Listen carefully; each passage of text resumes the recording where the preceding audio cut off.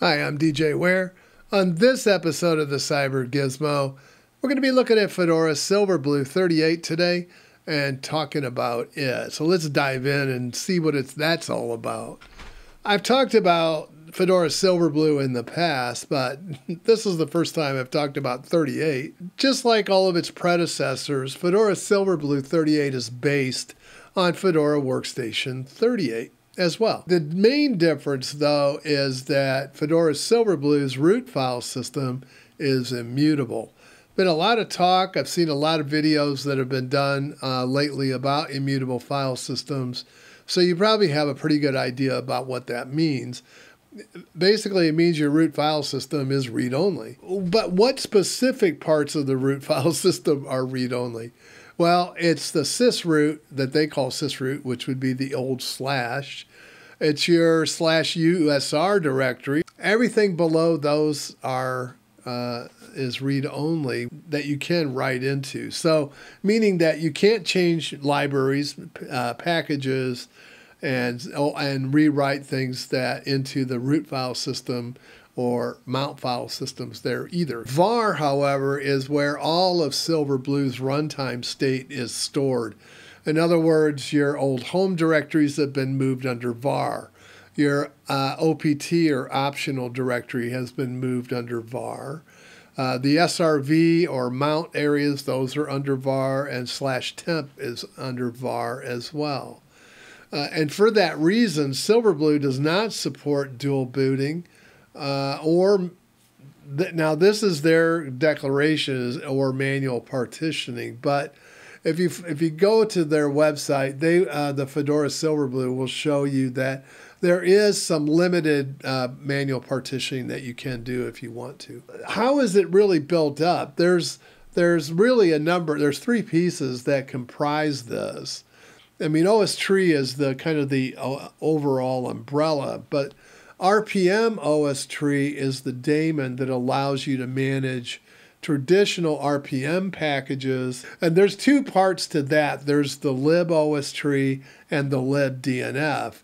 And both of those have to do with controlling the image, and now you have an image of the system.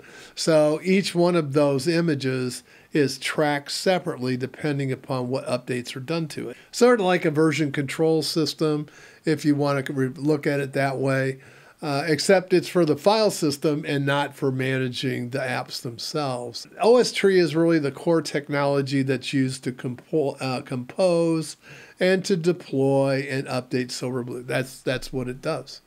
Uh, and I, I remember that the last time I did a video on on Silverblue, I had a note from one of the devs that says, "Hey, we're working on trying to figure out if we can get rid of OSTree or not." I don't know what the state of that is. Obviously, it didn't make it into 38, but you know, plans and execution times those occur at their own pace, and, and as we all know in the open uh, open source world, that's controlled by what has to get done, how many people can work on it, and how much budget I have to work with. So the rpm-ostree builds on top of OSTree and it adds the capability to install RPM packages at the top of the OSTree image. But what does OSTree really do? So that's part of the transactional and it's the background uh, image based upgrades. So it does all of those things. It, it manages all the updates as a transaction so it, once you start an update process, it starts a new transaction. It, it completes it when the update is completed. So then it cuts off. And you can continue to add things to that, that same version until you reboot. And that closes it out and makes it permanent. So any new changes that you make would be a new version of the uh, image. So OSTree also allows me to roll back without uh, impacting my user data. And so I, if I find that I installed something that makes my application space unstable or doesn't complete the install correctly, I can just roll it back to what I had been using prior. Uh, OSTree is the underlying update mechanism for Fedora CoreOS, uh, of course, Fedora Kinolite and Silverblue. Kinolite is similar to Silverblue. It's, it has the same technology base, except the desktop environment is based on KDE and not GNOME. The way that you approach this, uh, the way you have to think about this is that you have to stop thinking about employ, deploying packages through the DNF utility uh, or as an RPM. If it's a GUI application, the preferred way to install it is through as a Flatpak.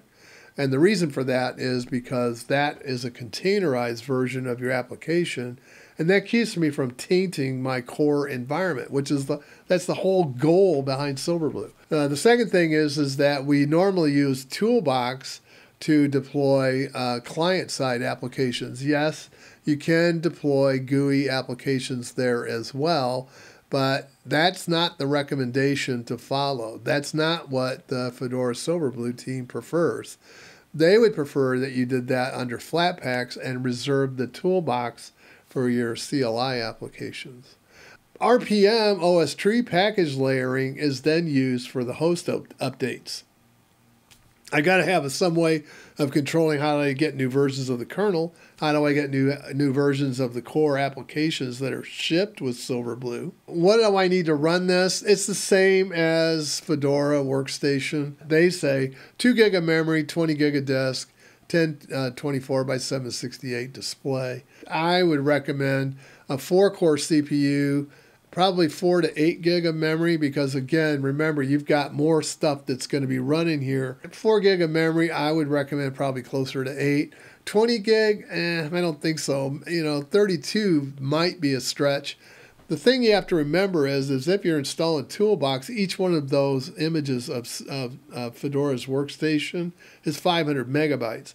So the, you can deploy multiples of those, uh, but you know just remember that each one of those is going to take 500 megabytes at minimum, plus whatever packages you're going to add on top of that. The kernel is the same as Fedora Workstation at 6.2. I'm not going to go through the changes again here. If you want to know more about that, go look at the Fedora uh, Workstation 38 review that I did last week. As far as the changes to Silverblue 38, let's talk a little bit first about the mount points that you can manually repartition. So you can you can do slash boot uh, and slash var you can change var home, you can change var mount, and of course you can also move sysroot as a complete root file system. You can move that as well. Just be careful you don't move USR or something like that. All of the same enhancements are that are coming from Fedora 30 Workstation 38 are in Silverblue. So there's I'm not going to talk about the packages again here. I've already talked about those mixed application library version mismatches, it, it avoids those. Uh, so I'm really happy about that. I can do containerized development. I can set up separate containerized packet uh, areas for each project I'm working on. I have a container GUI applications under Flatpaks for things. There's some advantages to that. There's also some disadvantages to that, to doing that. Uh, yeah, but you know, you, it is what it is, and I I actually have learned to prefer the Flatpak environment. It's just about keeping my base OS nice and lean and nice and clean, and I really like that. That's our those are my final thoughts about the thing. Anyway, hope to see you all in the next video. Please uh, please do the uh, share, and hope to see you again soon. And bye for now.